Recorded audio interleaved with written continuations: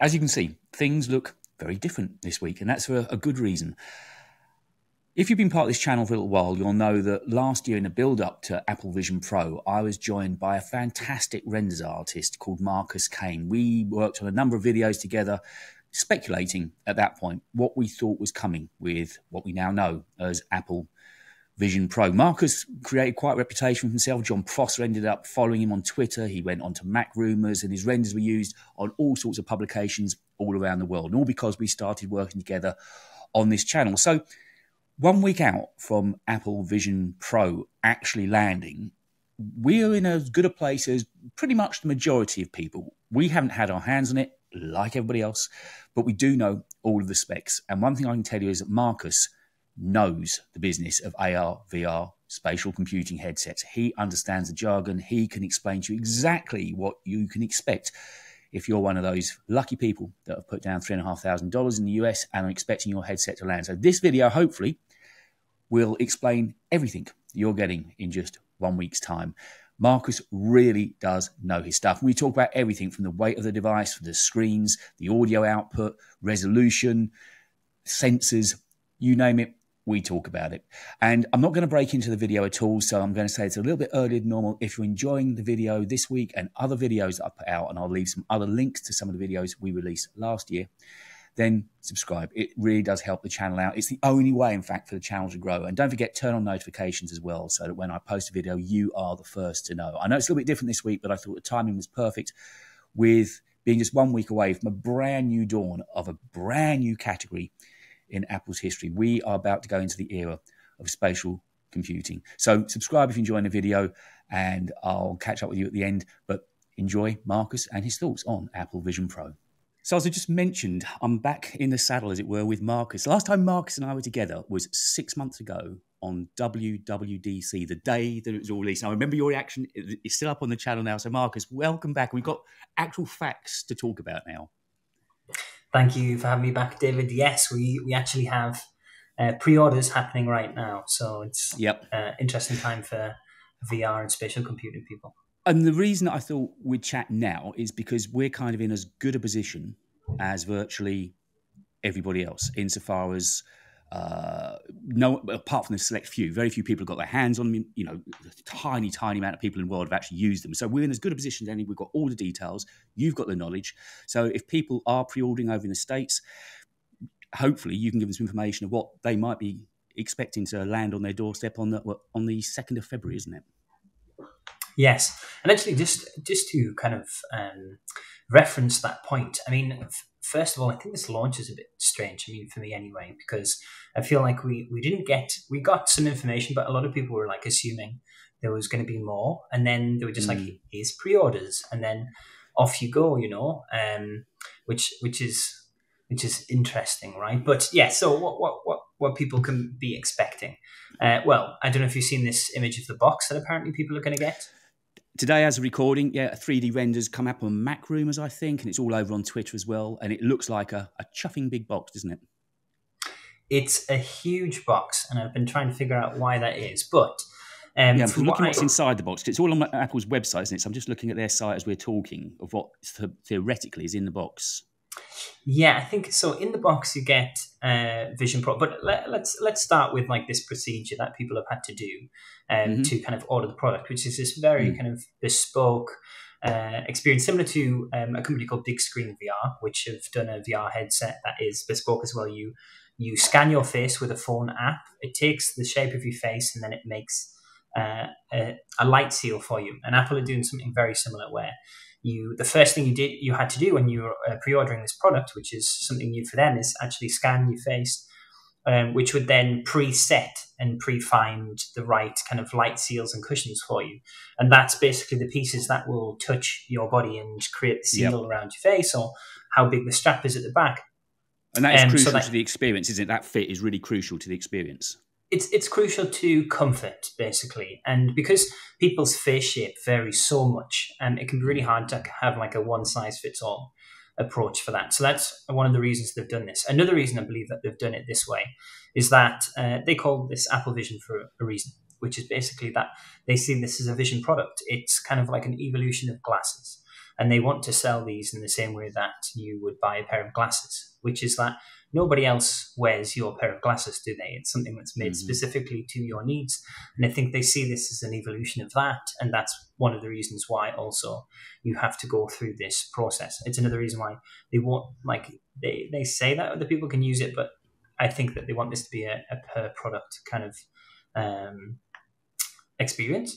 Uh, so that's one of the reasons why you go through this um, procedure, basically. And then once once you do that, it gives you uh, your preset. You actually don't even know what sizes you are, as far as I could see when when I tried it. And uh, maybe there's a somewhere you can see how big it is, but it kind of does that for you. And then you're able to pick your accessories. And then my guess is that it's going to be something a bit like Apple Watch, where they put the different pieces in, in a single uh, singular box. You know, so when you right, get it, yeah, you'll yeah. have all these separate parts. Um, so yes.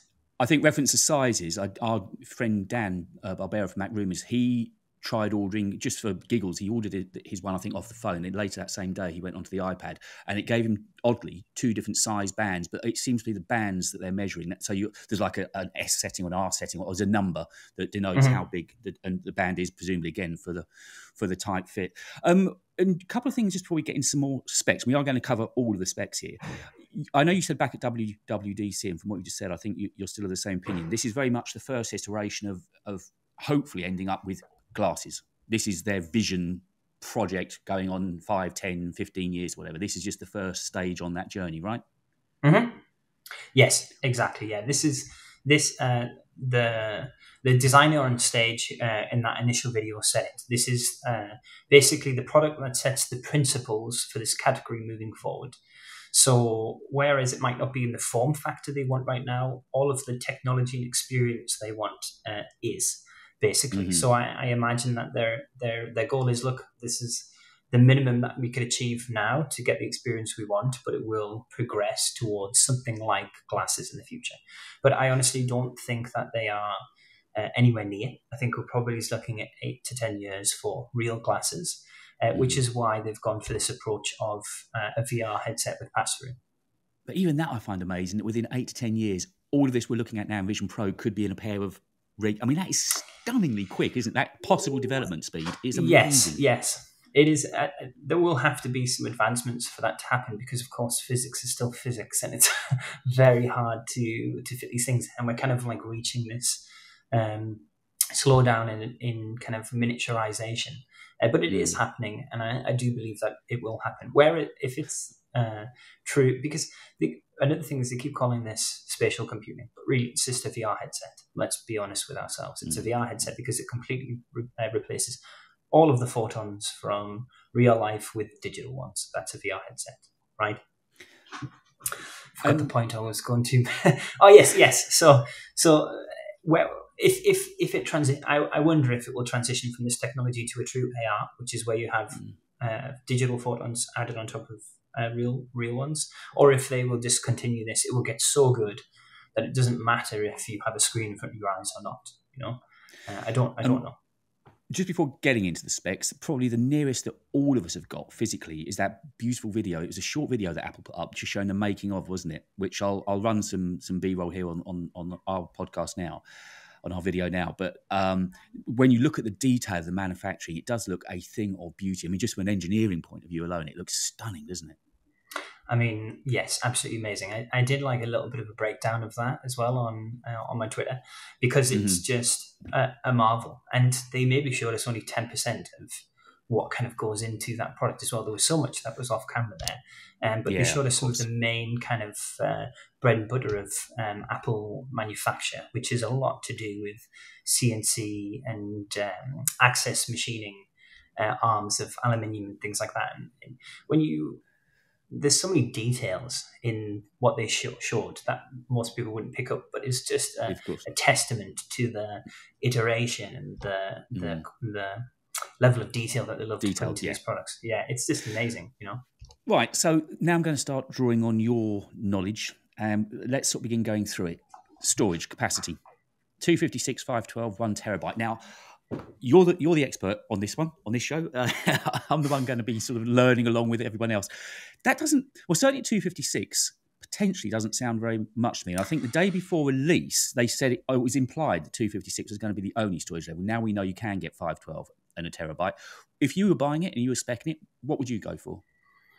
I mean, so this this I find this to be a really odd one, right? Because their position this is a little bit different from um, the other VR headsets that are out on market. Obviously, they are positioning themselves differently, but what they're doing is mm. they're positioning themselves as an entertainment headset. That is what this is for, mm. predominantly. Uh, you can use it to do some productivity stuff and some calls and things like that. But I honestly think that they're leaning heavily into this being like a home theater entertainment device for now. Uh, that may expand out. So if you're if you're going to be someone who wants to store movies and things on your headset, especially at 4K in this HDR whatever to go on a plane or something, then mm. you're going to want some good good storage, right? And then if you are adding mm. documents on there, or or the fact that this takes spatial photos, how big are those file sizes? So to be honest, I probably would would start at 512, and I'm I'm actually very surprised that they kind of, um, I would call this hampering the product right from the start because nobody, I mean, I, I would say that the majority of people will start at that 512 gigabyte because this is already an extremely expensive product. So yeah. you're already uh, meeting with a group of people who have a bit more extra money to spend to buy something like this. So it doesn't make any sense to me that they would select something like 256 gigabytes. It, it just seems odd. You know? And then I was going through the specs, and it said that it AirPlay mirrors. AirPlay mirroring is part of the the tech spec I was reading on this on the site. Now, does because well, one of the things I was a does that mean that you'll be able to share what you're watching? As I understand it now, when I AirPlay something, I can mirror from my phone to my Mac, kind of thing. So, does that mm. mean that somebody else in the room would be able to experience what you're watching on a screen? What does that mean? I'm not sure. Yeah, I'm not sure which way this is. Is this inside out or outside in? In the sense mm, that it doesn't make it clear. Um, yeah, is this like I have a MacBook and then I can AirPlay what I'm doing in my MacBook onto a virtual screen and then use my yeah. MacBook in VR? Or oh, there we go. So exactly... Video yeah, mirroring. Uh, up to 720p AirPlay for mirroring your view in Apple Vision to any mm. AirPlay enabled device, including phone, mm. iPad, or Mac, okay. or Apple TV. So this is like a casting experience basically, which which is great because it helps people to kind of see into your headset. This is something mm-hmm. that Quest's done for a while. Actually, you can just have the feed on your phone and someone can see in there, um, and especially when. Uh, it's very hard to direct people when they're using experience for the first time or something like that. So having this really helps. Uh, I also imagine that, for instance, the Apple Store employees, when they're taking you through the demo, they will have mm. a little screen that's linked to what you're seeing so they can oh, talk so, you through it. Right, of course, yeah. Because, in fact, well, I'm just going to mention that now, going slightly out of step, because as we know, they're only being released uh, on the 2nd of February in, in the US only. But we, I think, are one of this second rollout phase that's coming, and hopefully by the summer. Uh, clearly, what I'm going to do is go to London and book myself a session because they seem they know that the majority of people booking those sessions aren't going to buy them. So I'm, I'm not going to be yeah. fraudulent about it. But uh, uh, you know, I can't wait to actually go and see for myself just the experience that it is. I mean, you you've got knowledge of kind of what to expect. Are you are you physically going to buy a pair when they come out? I am not. Um, just purely price point. Yeah, I mean, it's just not a justifiable purchase for me. I mean, I have too many VR headsets to start. I have I have four on me already. So, um, and for me, for me, I think I'm in a, a, bit of a special place here because my workflow is incredibly heavy on the compute mm. side. Mm. So for me, it just doesn't make sense as a product. Um, and right, I yeah. unfortunately don't think that uh, spatial computing is going to make sense for me as a product for a long time because it will as it gets smaller, you get less compute, or like they say, you know what I mean. So it's it's going to be hard. Um, but maybe in a few iterations, I will be interested. Like for instance, Apple Watch. I love that yeah. product when it first came out, but my 1st mm-hmm. Apple Watch was Series Six, and um, because yeah, that's when it just got yeah, it just got to the yeah. point where okay, I like the design. It's sleek. It does everything I want. Now is the time you know. And you mentioned the rollout being odd. I, I, agree with you. We briefly spoke over the weekend, and I sort of said it seemed a very soft release. And I, I don't know if they're just trying to ease out into the, the niche market because I think only 60 to 80,000 are going to be ready for the second anyway. So it's a tiny amount. And I know we know they've sold out within a few hours. That was obvious they were going to. But I just wonder if they're trying to just let everything get out into the wild, see what mm, bugs and issues they got, and then come WWDC in June, which is only five months away, four months away, Vision OS 2 will come along, and I think that's potentially when they'll get more serious and hopefully see more dedicated apps because that seems to be one of the things that's missing on release day, doesn't it? Dedicated apps. We know that Netflix, Spotify, and YouTube aren't releasing dedicated apps and not even unlocking their iPad apps for it. Uh, so which is bizarre for me because I mean I understand YouTube particularly. They, you would have thought you know yeah. that's a given for it, isn't it?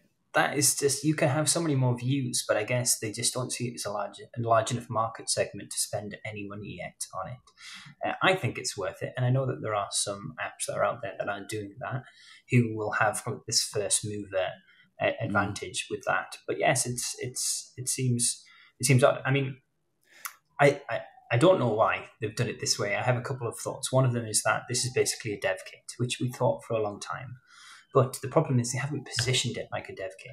They've positioned it like an ent- entertainment device for everyone. Come get it. They have, yeah. But we, we always thought about this being basically a product to get into developers' hands so they can start to think about spatial technology. So because this is remember Vision Pro, it's not Vision. Mm, so mm. in my mind, so there's the, the Vision end. headset going to come out exactly, and that this is basically a, a primer to get enough people interested and enough developers making exciting apps for when the mass market, real mass market device comes out, which is Vision, you know. Uh, but this is just speculation. The other thought on this could be that it's something similar to, to Apple Watch, and they don't want to um, to make the same mistake, which is that they positioned it like a fashion device to start. They went down the wrong was, road, didn't they? Yeah. Yes, but yeah. to be fair, it's a completely understandable um, kind of wrong insight that this is a fashion device and therefore um, it's going to overtake something like Casio or even Rolex, and then you have to position it like that.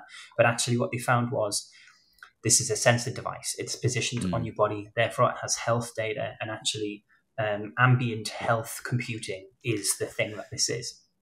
And, and I actually, yes. So essentially, no, don't want to make the same mistake yeah, they, yeah, want to exactly. wait to find out what happens with Le- it. Learn from history. And we were just talking yeah. about apps there. I, as you know, I, I, write regularly. I wrote yesterday that the timing of this, with the apps and developers being a little bit reticent on bringing apps out at the moment, couldn't come at worse time with this new 27% rule, which I knew, I'm sure you know about the Apple tax rule.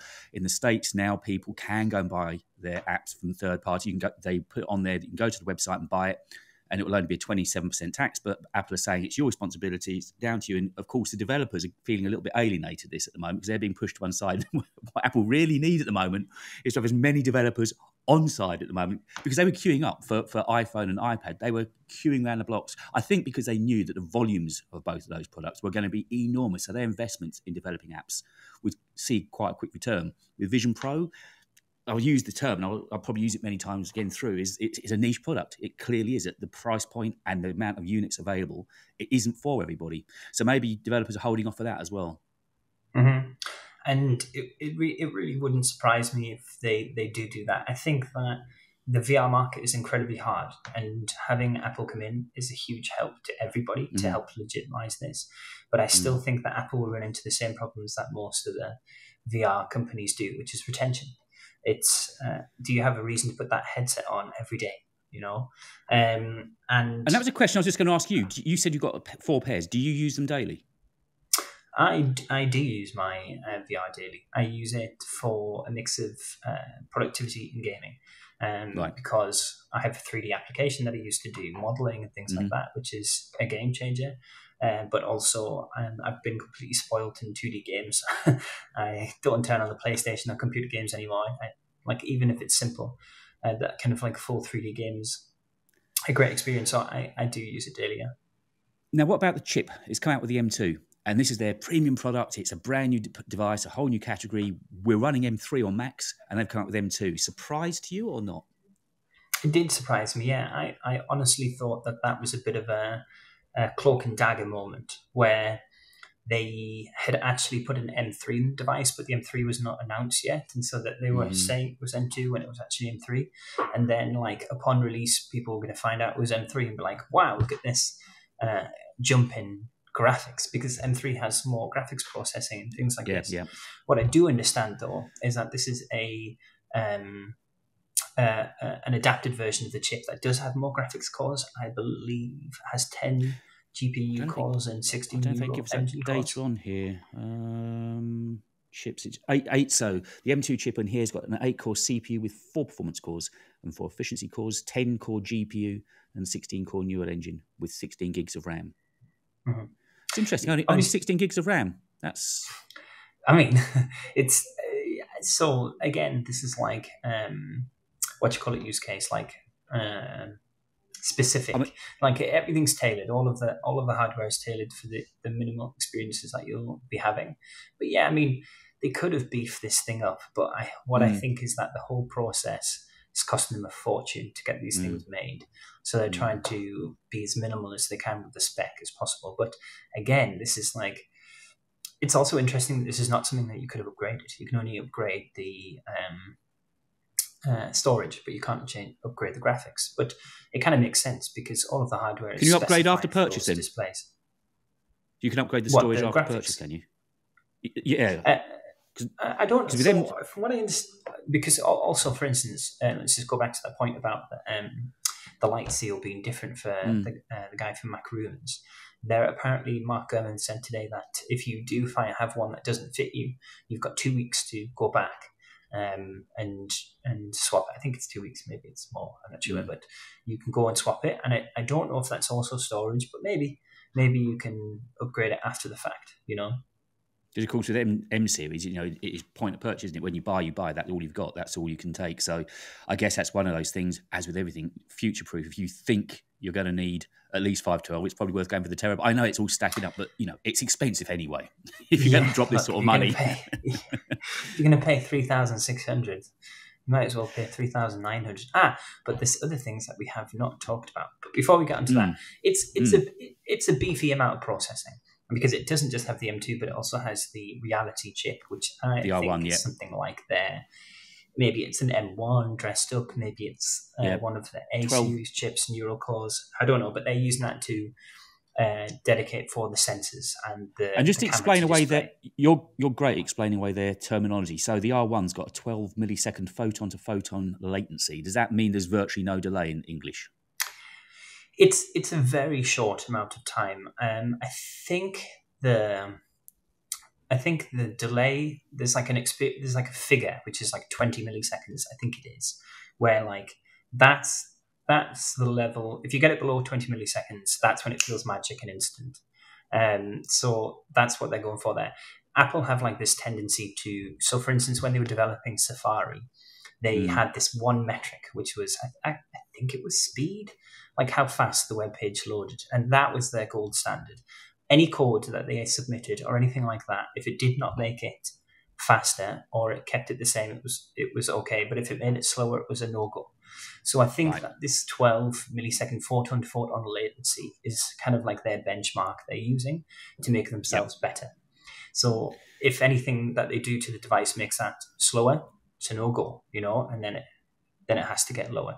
But for 12 milliseconds, I think that's a very good um, starting time, and you you won't really catch any lag in the uh, so, the visuals. Maybe hands. So it's almost like that, too but. too quick for the brain to detect any delay, kind of. So is there as a as a delta figure? Say, I mean, I know you know, I keep coming back. I'm I don't know anything about VR headsets really. Is there a delta comparison there between say Oculus and this? Have they got a, a latency figure that they promote on their I would, I would, I would have to look that up. I'm not uh, I'm not 100 percent sure basically what the what the milliseconds latency is between cameras and the screen. Maybe I can just double check here. Um, while you're looking that up, I will just fire something into your into your ears. So when you were last on with me, obviously then they launched it at WWDC, but we didn't really have any spec. We saw it for the first time. Something we talked a lot about was sensors and there seems to be a load of sensors in here, a whole heap of them.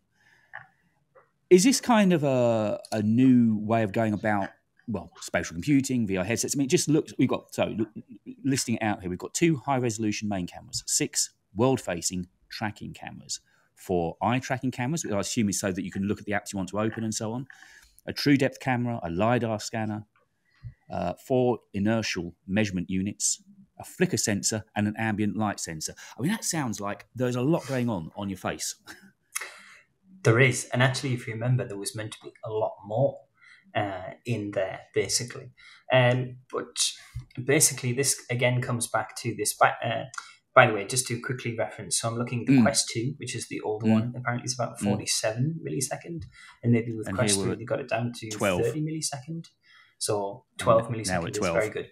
But really you have to remember that is what they call photon to photon. So that's that's right. The yep. photon comes into the camera, gets processed, jiggled, whatever happens to it, and then gets uh, put out the screen.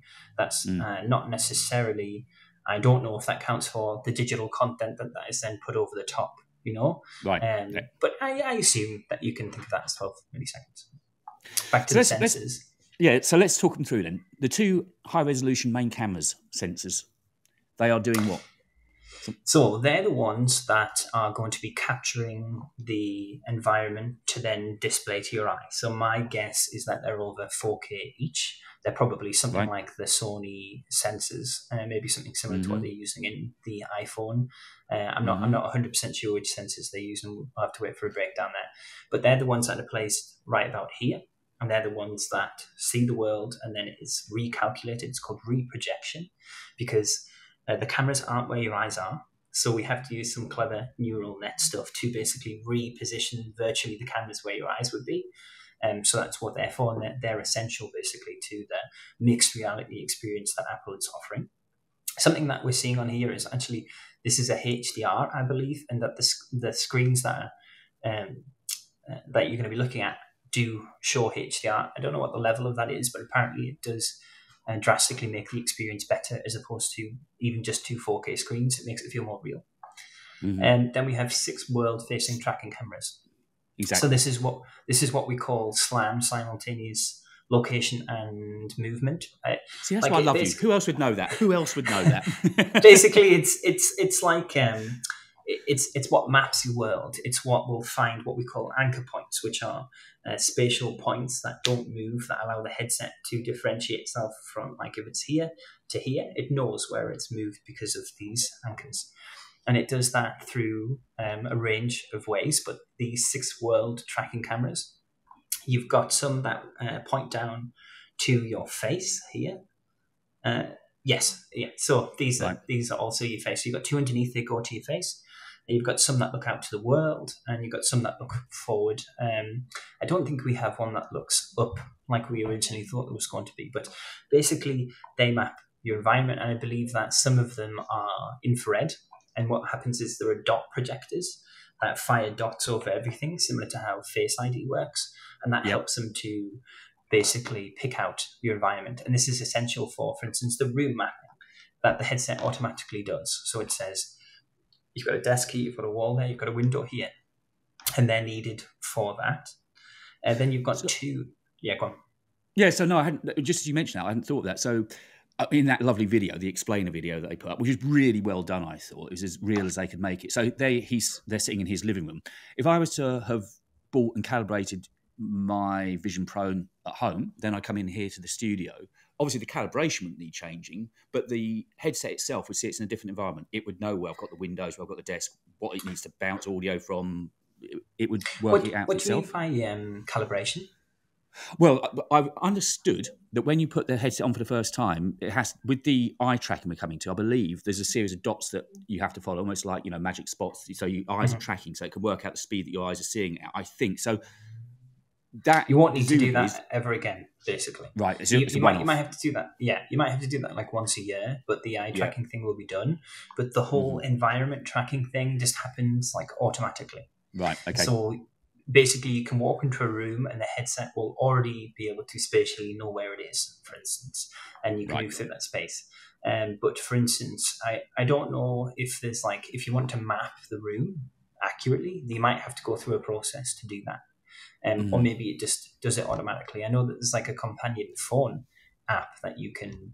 Uh, I think sadly Bradley showed that where you could see the room being being built in there. But like Apple does with everything, this will be kind of like a very hands-off, magical, does it by itself. It, it will just experience. work, yeah. Yeah. So then we got the eye tracking cameras, haven't we? Four eye tracking cameras. Yeah, and something they did really clever was to put these underneath the lenses. So the pancake lenses at the back there, they've actually put it underneath and to the side, um, mm. and that mm. looks through the lens, and then it, it basically what well, I think it does it a number of ways, but I remember the patents looked at reflections on your eyes, which is madness. And um, there's also infrared LEDs. Just, so I'm just letting that sink in a minute. It's, it's looking at reflections on your eyes. Yes, yeah, yeah. wow. Uh, so it has it has IR LEDs around the lenses, so it illuminates yeah. your eyes, but you can't see yeah. that light because it's infrared. The cameras pick up on that, and they look for like the ovals that are produced in the reflection, and they use that to te- uh, to check the curvature. It's it's it's bonkers, bonkers stuff. You think about that. This is why this product took over ten years of development, and mm. why other people mm. take so long because there's just so many siloed parts of um, advancement that you need to make a product like this work on this mm. magical mm. kind of like experience. Even if this headset does not meet expectations, it is a, a technological marvel. and that is absolutely sure. Oh, Absolutely. I mean, I'll be as, as you know, come the second, I'll be wanting to see as many videos about it. And I'm not the market. I, I mean, I love tech clearly, but it's because it's the start of something. We know there have been other headsets, but this technology, this refined, this quick, is something brand new to us all, right? I, I think the way I would think about it, which Apple does very well, is they've created this packaged experience. Uh, I think that everything that Apple has done, for the most part, you can grab from different places but there's nothing that's in this holistic experience yet. Uh, a lot, you know, so and and that in itself is something new, and that uh, your everyday consumer can align themselves with. Mm. Um, mm. Kind of like advanced movers or like early adopters like myself, we're happy to do the work that is required to capture all the things we need to have to have this experience. But your average person just wants it done for them. So this is a great way to to get into that. You know. So back to the cameras then. Then after the eye track cameras, we've got true depth and a lidar. Maybe you can sort of group those together. Yeah. So I need I need to fully uh, true depth and lidar they work in similar ways from what I understand. Lidar is That's, a laser. Yeah. It's that produces uh, dots, and it, uh, basically that's it's like super tracking. I think they use this both for what's in front of you and for um, more uh, hand sensing, and so and the True Depth works in a similar way. I believe it has mm. like two cameras that are look at the same object, and then they can uh, sense depth, and all of that is basically to have accurate tracking in front of you of your hands because that's really important, but also course, yeah. occlusion, uh, occlusion of objects. So if I have this cup here and a virtual mm. object behind it, I need to know mm. where the edges. I need to mask out that cup so that mm. when my hand goes, you know what I mean? And that's yeah, yeah, a very yeah, hard thing to do. Yeah. And you need as much data as possible. So these really help with that. Um, and then the inertial measurements means are the IMUs. This is things yep. like gyroscopes and altimeters. They're basically uh, a mini sensors on the device that help it know its orientation without the cameras. So my guess is they pair the data from that with the data from the cameras to be able to get really precise kind of positioning and movement um, out of the headset. So when they showed in that video the audio, uh, presumably that was coming out of speakers that were, uh, that were just behind the, the skull and just above the ear, which are spatial. And we know you can use AirPods Pro with with Vision Pro as well to get an even better experience. But presumably, with the audio coming out of there, everyone in the room is going to be hearing that audio as well. Correct? Has to be right. There's there's speakers. So, yes and no. Uh, from what I understand, it's a bit of a directional speaker. So if you've right. ever used a Quest, uh, I have one here, but they, they use something similar, but the, speakers are on the inside. Um, mm-hmm. And there is kind of like a pocket of audio here. Um, mm. So I, I, reckon you will be able to hear it, especially when it's on its louder settings. Um, mm. But it won't be. It will feel like hearing these headphones, for instance, um, uh, from afar. But it is it is a problem. But oh, so just a little bit of bleed, basically, or just to hear a bit of audio bleed if you were in the I room with somebody so. else using one. Yeah. Yeah, we, we, we need we need to find out basically when, when we see this, but that's why what? they released the Gen two AirPods Pro two to go with this headset. So that Right. Yeah. Someone, yeah, someone who buys this headset probably already has them. So. So I was going to two more questions. I've got a whole list of things I want to run through with you. We're going to try and keep it as snappy as possible to give people as much information as possible. But battery life and battery packs. Now we know that Belkin, I think, have already been commissioned to bring out some sort of battery Clip. charge or code or something, haven't they? It doesn't come it's included because it's a belt clip, yeah. Belt clip, right? Yeah, because I was just looking what was in the box because there's no mention. It's just the battery, isn't it? Yep. So battery life, they're giving it to two, two and a half hours, weren't they, from memory? Yeah. To or as they say, uh, old perpetual battery life if you plug it in. It's like, well, of course, we Yeah. plug anything in, we've got perpetual battery life. So uh. reading the actual specs, they're saying up to two hours of general use, video watching up to two and a half hours.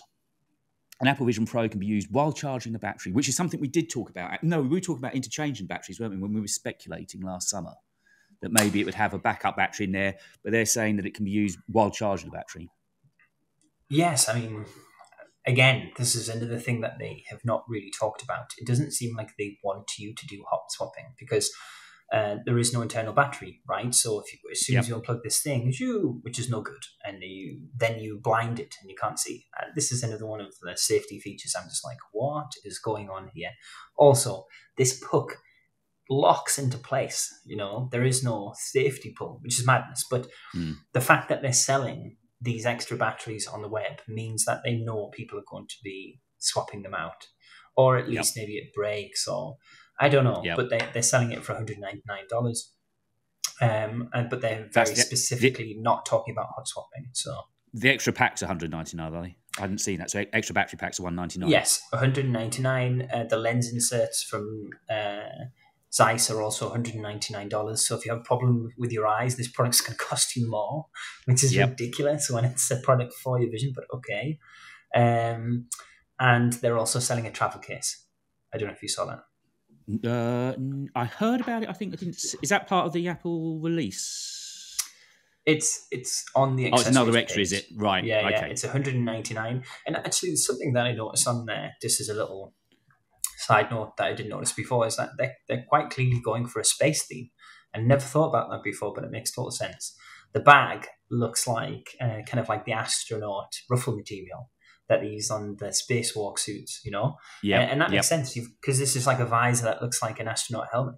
And they Mm. even released that really cool video, which was about like all the different uh, forms of like science fiction and stuff where we have people putting on masks or whatever to kind of break down this um, stigma around putting something on your face, which they already did with, uh, we, which we've already done with headphones. But yeah, just I just thought it was a nice little touch that they had that material on there uh, with a link to kind of space. Now, as you know, I'm kind of mentally limited on some things, and this is one of them. I've been bouncing this around in my head, and I don't know the answer. If you and I were sitting physically here in my studio, both three and a half thousand pounds worse off, or dollars worse off, both wearing Vision Pro, when I look at you, what do I do? I see you with goggles? Yes. do I? So you, if I was in a room looking, forget. I'll come back to the Google bit in a minute. So if I'm in a room with somebody with the with the pass well, the pass is for them to see me. But if I look at somebody in a room with eyesight, I'm seeing them totally normal, as I would expect to see you standing in the room now. Is that right? There's no difference. Uh, What when you've got the headset on? Yeah. I mean, there will be a difference um, because this is this is 4K per eye, but this is still like a quarter uh, of what uh, information your eyes are used to seeing. So it's going to be like the qu- effectively a quarter of the resolution of life. So Right, you can tell okay. you're wearing a headset, and also it doesn't have anywhere near the HDR that your eyes do. The, the contrast we see is insane. Mhm. So you will notice that. It will seem pixely, but what I assume you will see is them wearing the goggles, and then you might be able to see their own um, uh, real. Well, I forgot what they call it now, but the pass Eyesight, isn't it? eyesight. That's it. Yes. Yeah. Uh, you might be able to see that because I don't know, for instance, how the contrast will work for that in the headset. But as far as I understand, they're not going to do a digital overlay because you will have Right. to scan your face to make eyesight right with the headset itself, which we predicted, by the way, that you would have to do. Can you remember? We said you Yep. had to use the headset to do it. Um, they could, for instance, put that digital model over your real face so that they could hide this visor. But I think that um, the quality is just not there yet, and it will dip into something what we call the uncanny valley, which is where your brain doesn't like it. It's like this is freaking me out, and so I think they just decided, let's just not do that. So the the kind of best use cases for this when it first comes out, with the limited amount of apps being out there, we've got two way and, and very little in the way of gaming either, which presumably will come later. so we're talking really about either purely content, which we know you're going to have to generally consume through the web because there's so few apps, or Apple TV clearly. Um, and then they did show productivity. They showed sitting with a MacBook, the screen suddenly appears in front. Now that to me did look amazing. You know, if I'm sitting, say, or editing this podcast, and I can suddenly sit and do it on a screen in front of me that, that's huge. It looks amazing. It, uh, uh is that something? Which way do you think people, when they buy this, will end up using it, or will it just be a rich man's expensive toy initially, just a little bit of eye candy? I don't, I don't know where it's going to sit. You know, I I do think it's going to be rich man's eye candy toy to start with, but Right. Uh, actually, it's it's really good that you brought that up because I think a lot of people have bought this product thinking it's going to become a great productivity tool.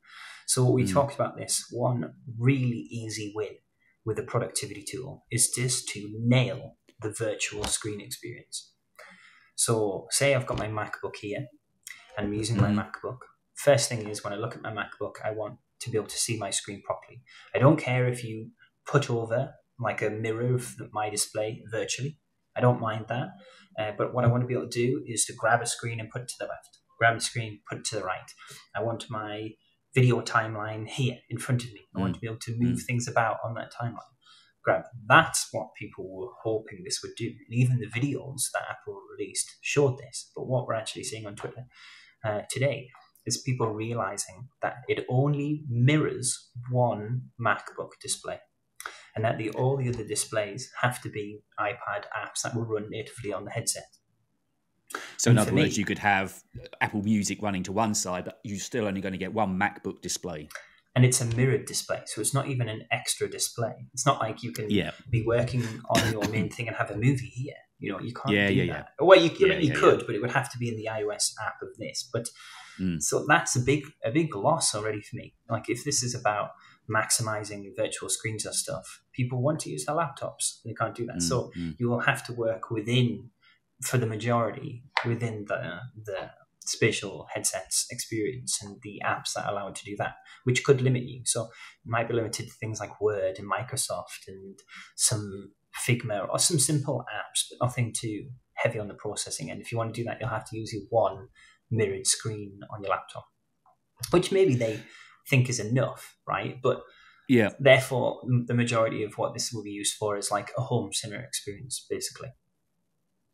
And the, the, I think the other thing to try and something else. I've given it a lot of thought before talking to you. And it's we said this is a whole new category. It's a whole new language in gestures we've got to learn, isn't it? You know, we were watching that demo with it all being pinch and but we're so used to using a mouse or magic trackpad or whatever you know if you're in the mac world you kind of get used to all the gestures and so on. But this again is training the brain to work in a very different way. If they want us to be intuitive with i'm sitting there looking as if i've got one but you know what i mean? It's it's it's because the video is that good in, in showing us what's going on. It's going to be a whole new language we've got to learn to work with it right?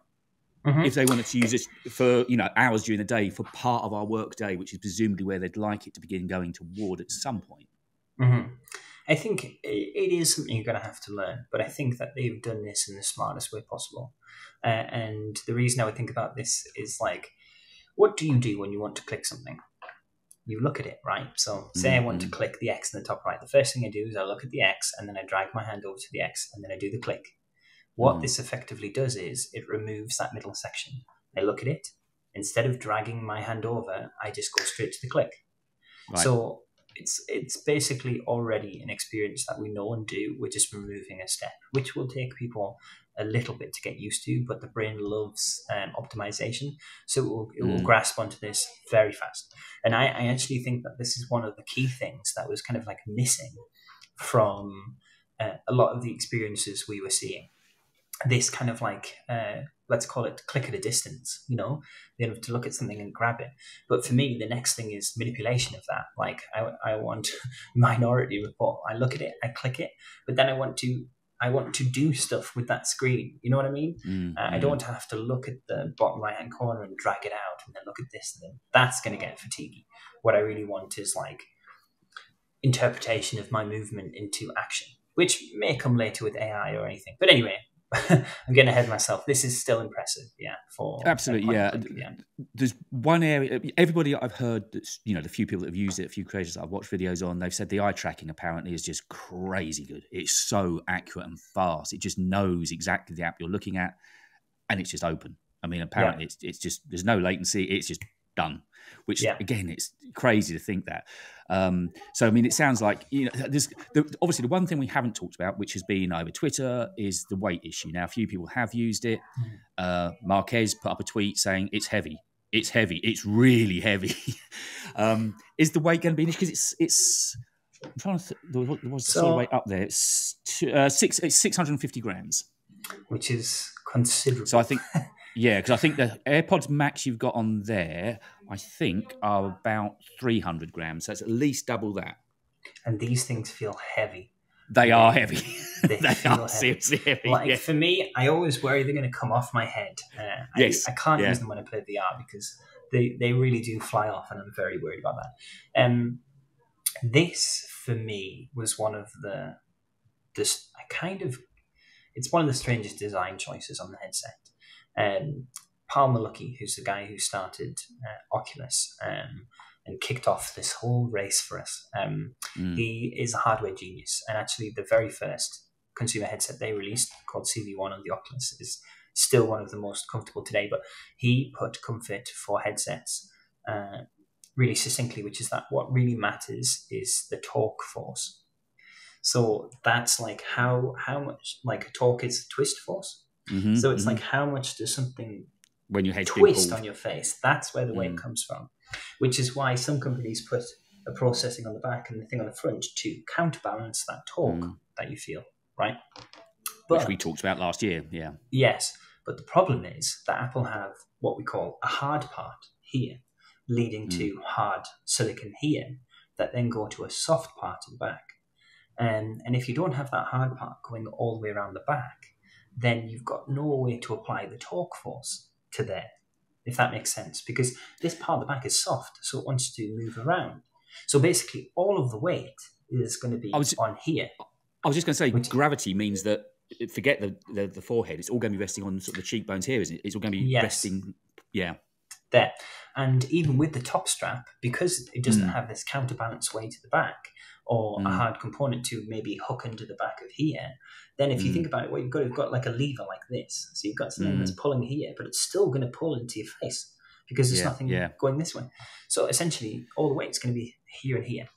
Um, and they tried to address this, by the way, with a new strap. So when they first released it, people instantly. It was just a solo strap, wasn't it? Yes, this is not going to be. So I don't know if this is a strap that was intended for the cheaper version of Vision and they decided to put it on this, or that mm. they actually had so much time from announcement to launch that they actually made the product better with this new strap, which I find is really funny, right? They go from this beautiful, incredibly complex 3D knit uh, solo strap, which is something like a, that looks a marvel, and then realize like, oh, let's just go back to Velcro straps. It works. You know what I mean? So the eyesight we we touched on briefly, and I know we spoke about it a lot last year, and probably it's the last main topic we really need to cover because I think that's going to be the one that gets a lot of uh, attention because I guess it's so easy to show videos and pictures of the eyesight. So it, that is, and yet we don't see, we have not seen any. No, no, because even when they had the they had another session of uh, viewing sessions last week, didn't they, in, in LA and in New York and yes, there were controlled pictures, which Apple took and released, but it was still without the eyesight on. So mm-hmm. I think there, there's going to be a. I mean, that's going to be. We all know that the haters on this are going to take pictures of that and just going to be ripping the mick out of. it. We know that it's going to happen.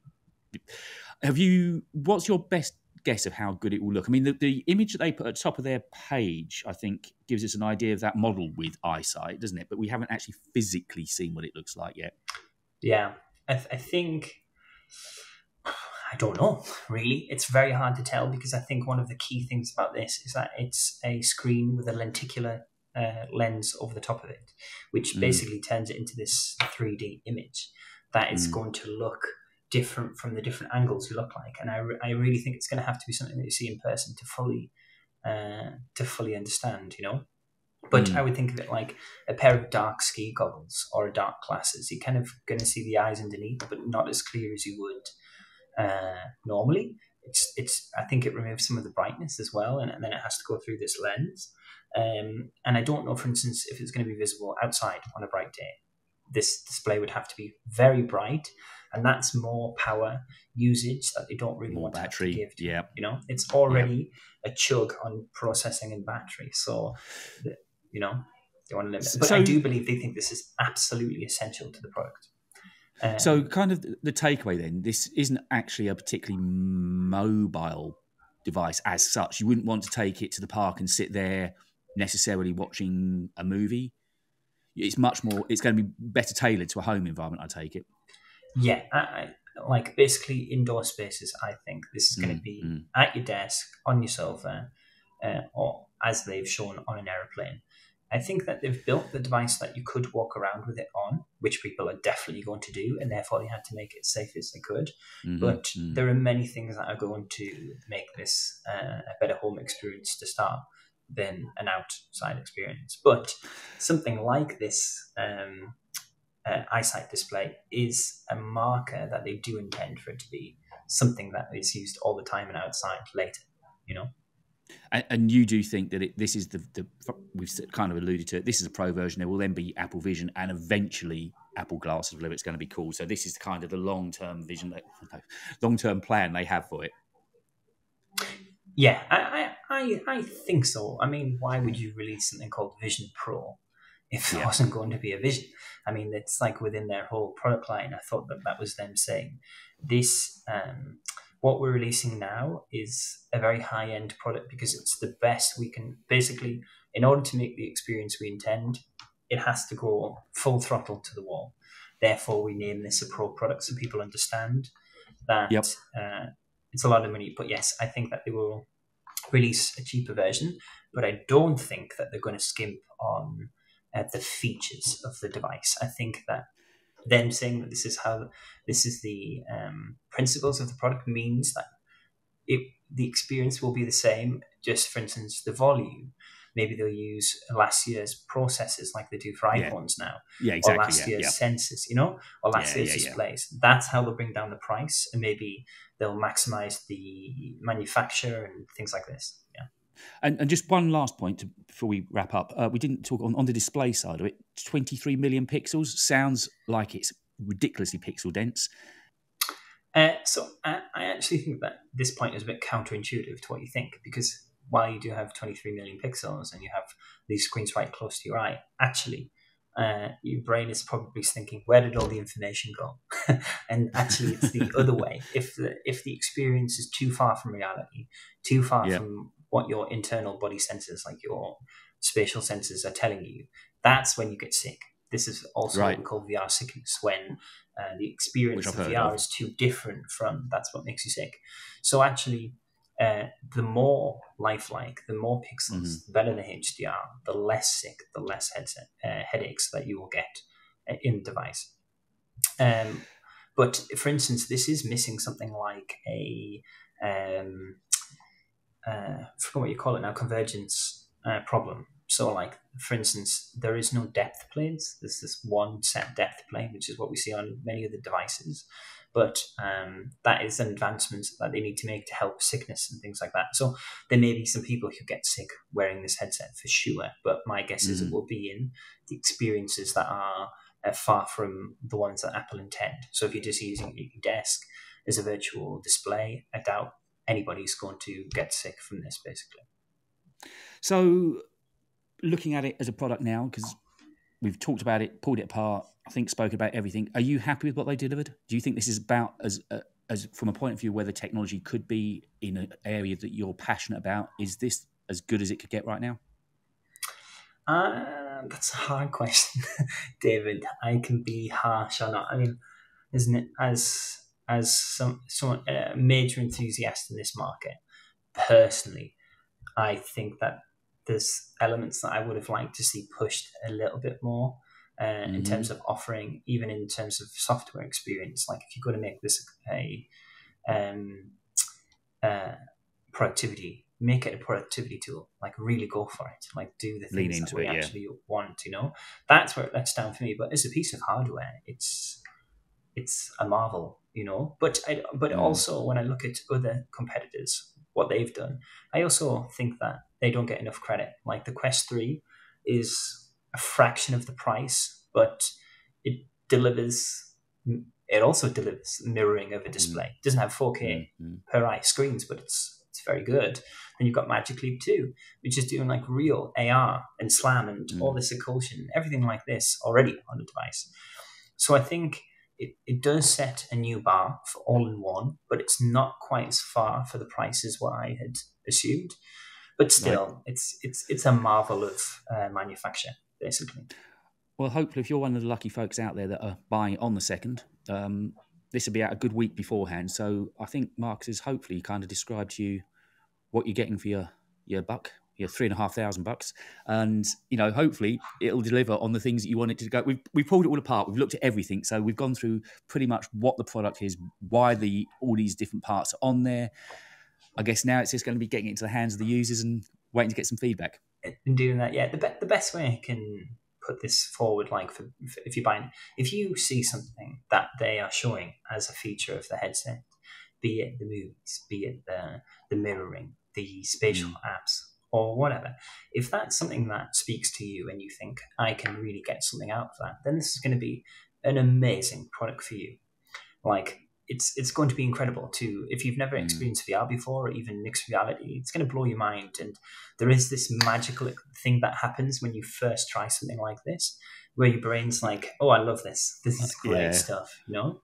But if you're someone who's looking at this and, and is trying to figure out how they're going to use it, then I don't think it's for you yet. You know, you, you, you really want, I would not advise you drop $4,000 on this, uh, plus the 499 for Apple Care, which is exactly absurd. Yeah. yeah. So, yeah. Uh, I, I, think, I, I, yeah. can't wait for them to get to London. I'm definitely, definitely, definitely going to head to Battersea, book myself a session, and just go and see it. So I've got first hand experience. I can actually talk and write about it. I know the horse will bolted by then, and many people have had it by the time we get it. But again, it's not like I'm far behind anyone in the UK because none of us have got it yet. I still don't know how. There's a few creators in the UK that have ordered them from the US, but I don't know how that's working because you yeah, need a US prescription, thing. don't you? Uh, yeah, I mean, maybe somebody's just like, oh, you've got a face who's similar to mine, and yeah. they're going to order it in, maybe travel to the US, do their exchange of parts, and then come back. Um, but also, you have to be so careful. Like, what if Apple software locks this to a location? Um, mm, because, exactly for instance, uh, I live in Portugal. There, we they don't sell the Meta um, glasses here because it's illegal to record people in public. So right. you you could not sell this device here. And actually, if you were to hmm. bring it over here, you get in serious trouble. Uh, mm. Apple too. Mm. So I don't know how they're going to do that. There's going to be some 20, good stories coming out, right? Five, me and you will be able to try. It. Tell, let me let me know when you go into Battersea, and I'll book a flight, and uh, I'll come. Yes, we should you. absolutely do that. We should absolutely do that. We should. We should. Um, where can people find you on Twitter, by the way, Marcus? Because I know you're on there a lot. You've got a good following. I'm just Marcus C Kane on Twitter, basically, and I recently did a post that um, broke down what I thought was happening inside of the the uh, manufacture video there, and I post bits and bobs about spatial computing and things I'm interested in. So uh, come chat Wonderful. with me.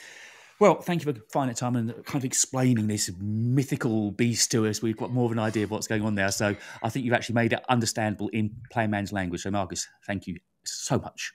No worries. Thank you very much for having me, David. And we'll catch up again soon, maybe in Battersea. That would be nice, right? We can do a little video from there. Let's do it. Cheers, Marcus.